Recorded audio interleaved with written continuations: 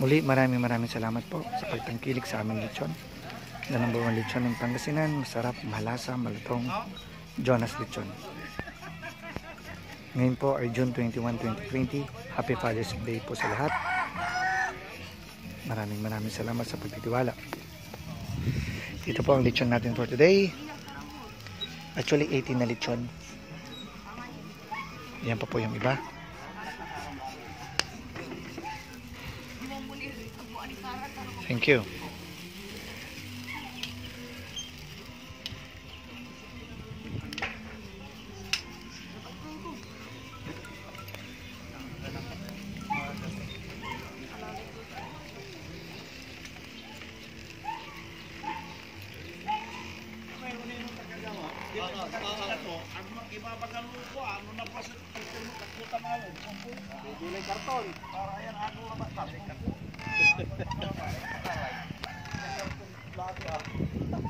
Thank you.